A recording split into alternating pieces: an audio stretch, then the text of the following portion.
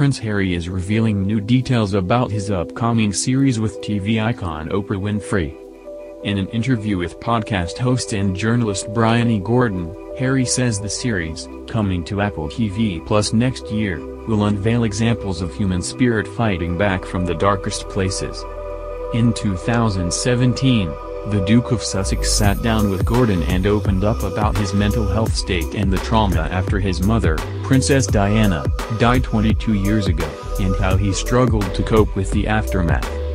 Speaking with the reporter once again in the Daily Telegraph on Wednesday, the Duke said, When I did your podcast two years ago the response made me realize what an impact sharing my story could have, and what an impact other stories can have for so many who are suffering silently.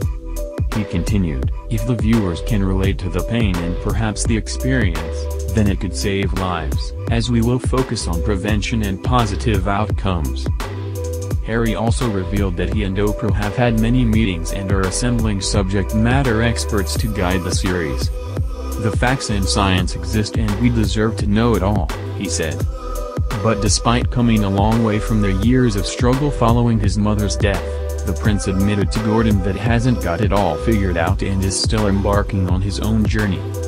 What I have learned and continue to learn in the space of mental health, mental illness and self-awareness is that all roads lead back to our mental well-being how we look after ourselves and each other, he said. Harry and Oprah will serve as co-creators and executive producers of the mental health series for Apple's streaming service and will include Kahane Cooperman, a former co-executive producer of The Daily Show with Jon Stewart, at the helm and will be produced and directed by Dawn Porter, director of Bobby Kennedy for President, and Asif Kapadia, the filmmaker behind biopic Senna and Amy, about ill-fated singer Amy Winehouse. The Duke of Sussex has been working on the documentary series with Oprah for several months, with the show set to air next year on Apple's new streaming service. Harry, 35, told the Daily Telegraph that after opening up in a podcast in 2017 about the loss of his mother Diana, he realized sharing his story could help others. When I did your podcast two years ago the response made me realize what an impact sharing my story could have and what an impact other stories can have for so many who are suffering silently, he explained. If the viewers can relate to the pain and perhaps the experience, then it could save lives, as we will focus on prevention and positive outcomes. What I have learned and I continue to learn in the space of mental health, mental illness and self-awareness is that all roads lead back to our mental well-being, how we look after ourselves and each other. The TV series will focus on mental illness and wellness and aims to encourage viewers to open up on their own mental health struggles. Speaking to CBS about the project earlier this year, Oprah explained, I asked, Prince Harry, the question, what do you think are the most important issues facing the world right now? And he said there are two. He said climate change and mental wellness, mental fitness and mental health.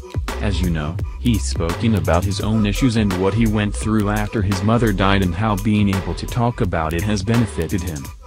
So it's a passion of his and, at the end of the conversation, I said, oh, I'm going to be doing this thing with Apple. It's a big concern of mine too and I want to try to erase the stigma, and he said at the end of the conversation, if there's anything I can do to help. Two years ago, Harry revealed he shut down all his emotions for 20 years after his mom, Princess Diana, passed away. Harry said he finally faced his pain at 28 when he was on the verge of punching someone. Giving an account of conquering his demons. Harry told Bryony Gordon, I can safely say that losing my mum at the age of 12 and therefore shutting down all of my emotions for the last 20 years, has had a quite serious effect on not only my personal life but my work as well. I know there's huge merit in talking about your issues. Keeping it quiet will only ever make it worse, not just for you but everyone else around you, because you become a problem. And I, through a lot of my 20s, was a problem, and I didn't know how to deal with it.